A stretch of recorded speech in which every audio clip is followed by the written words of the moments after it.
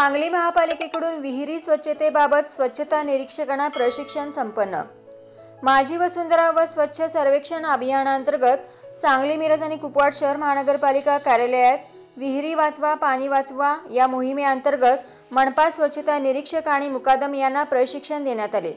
मनपा आयुक्त नितीन कापडणीस यांच्या मार्गदर्शनाखाली ही मोहीम होत आहे. यावेळी उपायुक्त चंद्रकांत आडके मुख्य अग्निशमन अधिकारी विजय पवार आणि आरोग्य अधिकारी डॉक्टर रवींद्र ताटे यांच्याकडून विहीर स्वच्छता करण्याबाबतचे प्रशिक्षण स्वच्छता निरीक्षकांना प्रशिक्षण देण्यात आले.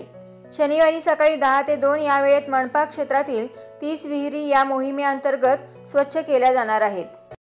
सांगली मिरज कुपवाड महापालिकेच्या वतीने स्वच्छ सर्वेक्षण आणि माझी वसुंधरा अभियानांतर्गत महापालिका क्षेत्रातील ज्या विहिरी आहेत त्या विहिरीचे विहिरी वाचवण्याचं आणि पाणी वाचवण्याचं एक विशेष अभियान आम्ही सुरू करीत आहे.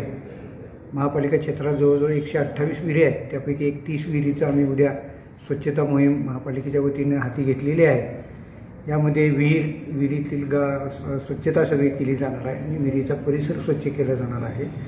आणि त्यासाठी आमच्या महापालिकेचे जे कर्मचारी आहेत या मोहिमेमध्ये सहभाग होणार आहेत त्यांचं प्रशिक्षण आज अग्निशमन विभागाच्या वतीनं घेण्यात आलेलं आहे.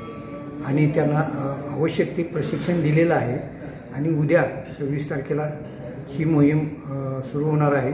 या मोहिमेमध्ये नागरिकांनी सुद्धा सहभाग घ्यावा असं मी आवाहन करीत आहे. यूट्यूबवर सर्च करा तिसरा डोळा. तिसरा डोळा चॅनलला सबस्क्राईब करा.